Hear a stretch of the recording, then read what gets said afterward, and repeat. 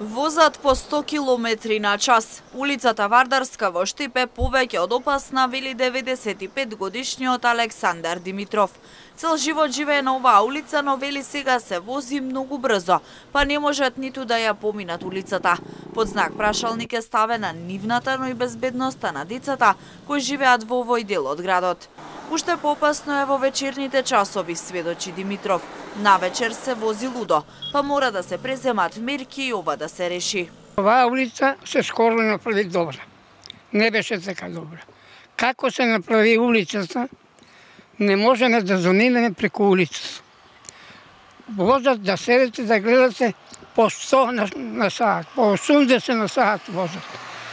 На што личи ова? Некој треба да преземе мерки не може да замине. Јас сум 95 години. Не сум дете. И сега, како му гледа која, колку возе, гледаш ли го? 80 возе на саат. Кар Марс е. Ова тука, за това збореме.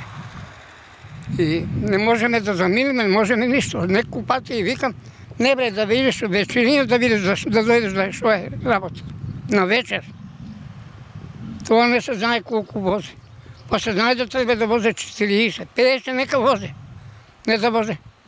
Ја би до возач 30 години више.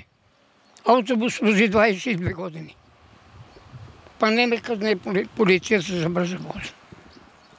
Ова е улица, ја не знам како да кажам. Да се деца и помош.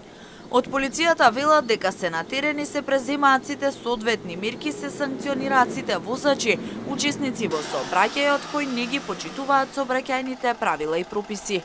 Во оваа прилика апелираат до сите граѓани пред се до возачите да бидат внимателни да ги почитуваат поставените сообраќајни правила и прописи, особено да внимаваат на пешаците.